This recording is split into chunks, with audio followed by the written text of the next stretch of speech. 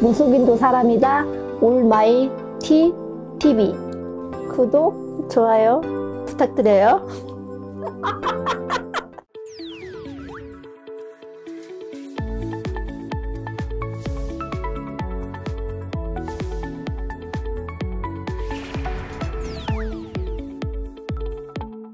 이 2020년 이제 하반기에 들어서고 있어요. 띠변운서에 대해서 네. 손님들한테 이제 안내를 해드릴 건데, 네. 자, 첫 번째 쥐띠 먼저 갈게요. 네.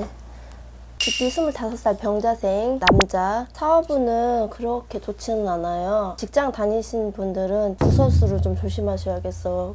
구설, 입구설. 금전운은 투자를 안 하셨으면 좋겠어. 뭐 증권이나 펀드, 주식, 비트코인 그런 거 안 하셨으면 좋겠어. 그리고 25 병자생 여자. 직장운은 그냥 평탄해요. 어, 평탄하고 연애운은 좋아. 결혼을 하신 분이면 유지 결혼은 부부 사이가 더 좋아질 것이고 결혼을 안 하신 분은 새로운 인연이 들어와서 결혼을 하실 거예요. 금전운은 이 남자 똑같이 어디다 투자만 안 하시면 되겠어. 그냥 보유에 있는 돈을 좀 지켰으면 좋겠어요. 네. 건강도 좋아요. 평균적으로 다 좋고 괜찮아요. 그리고 37 갑사 갑자생 사업은 좋아요. 사업을 또 하나 늘려도 좋겠어요. 지금 뭐 경기가 어 코로나 때문에 뭐 안 된다고 안 된다고 하잖아요. 근데 은이 들으면 괜찮거든요. 37살 남성분 같은 경우는 사업을 다른 거를 또 해도 괜찮 무난하다고 봐- 보여요. 근데 결혼운 같은 경우는 조- 그렇게 좋지 않아. 어, 부부 부부도 그 부부 금실로 보면은 좀 서로 양보 좀 해줬으면 좋겠어요. 별로 안 좋아 보이니까. 음, 금전운도 괜찮아요. 돈도 괜찮고 그렇게 나쁘지는 않고 근데 건강을 좀 조심하셔야겠어요. 이분들은 허리 갑상선으로 조심하셔야겠어요. 남성분들.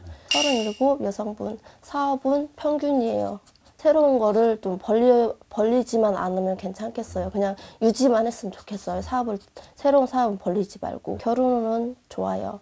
음, 그리고 부부 관계가 더 돈독해지고 37살 만약에 혼인을 안 했다면 결혼하시면 좋아요. 금전운도 좋고 어디다 투자해도 괜찮아요.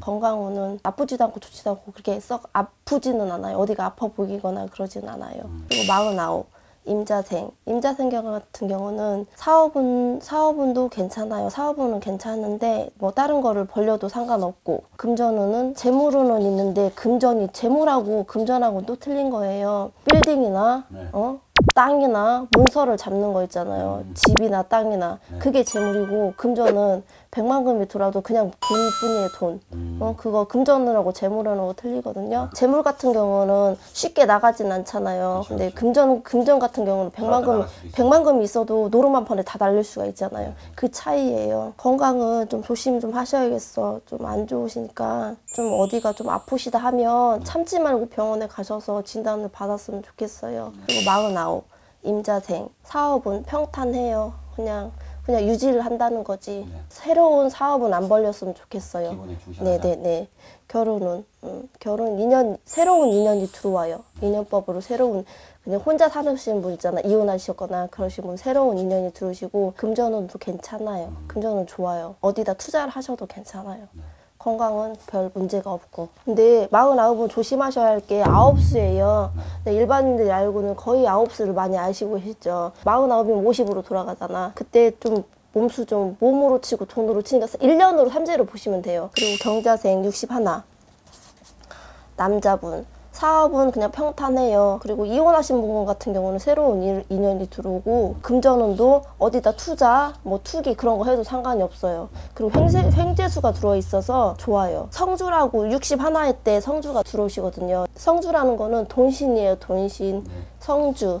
어, 집안의 신, 원래 자체의 신이거든요. 근데 돈신이라고 보시면 돼요. 이런 때는 성주운도 이렇게 받아주시고 성주 때는 뭐 못을 받거나 동톤한다고 하잖아요. 네네. 근데 못을 받거나 그런 거 아무 하자가 없어. 성주운이 들으면. 그리고 건강은 그냥 평탄하고.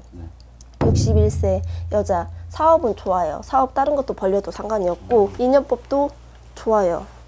부부 인연이 더 돈독해지고 아니면 이혼하신 분들은 이혼하신 분은 새로운 인연이 들어오고 연인분들은 더 돈독해지고 금전은 어디다 투자를 안 하셨으면 괜찮으시겠어요. 투자하면은 손해 볼 일이 생기니까 안 하셨으면 좋겠고 건강운은 그냥 평균이에요. 평탄해요. 그다음에 70셋 무자생이에요. 사업은 올해는 좀 자정하셨으면 좋겠어. 뭐를 해도 안 되실 것 같고요. 인연법도 좀 안 좋거든요. 근데 이제 부부 같은 경우는 싸울 일 있으면 서로 좀 양보해줬으면 좋겠어. 이 나이에 먹어서 이혼하면 안 되잖아. 잘 살아 잘 사셔야 하잖아요. 그러니까 금전운은 평탄하고 건강운은 이 뇌 쪽으로 안 좋아 보여요. 머리 머리나 남성분은 갑산성으로 좀 안 좋아 보이시고요. 73 여자 사업운은 좋아요. 어디 뭐 투자를 하거나 다른 다른 사업을 또 하나 해도 상관이 없고요. 새로운 인연이 또 들어오시고, 음. 그리고 부부 부부 관계는 그냥 평균, 그냥 평탄하다고 보시면 되고요. 금전운은 음, 투자를 어디다 투기나 투자를 하셔도 상관없어요. 그리고 건강운은 그냥 나쁘지도 않고 좋지도 않고 음, 그래요.